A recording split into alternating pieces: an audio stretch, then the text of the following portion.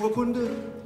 Wir bedanken uns für das Engagement, sich für die Polizei im Landtag von Baden-Württemberg einzusetzen und verleihen dem Abgeordneten Dr. Boris Weihrauch, Mitglied im Landtag von Baden-Württemberg, in Anerkennung und Verbundenheit den Polizei-Oscar in Gold.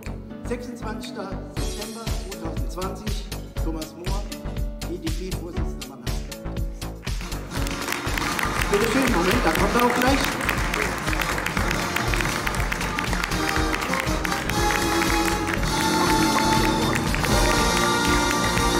So sieht er aus. Sie haben es verdient.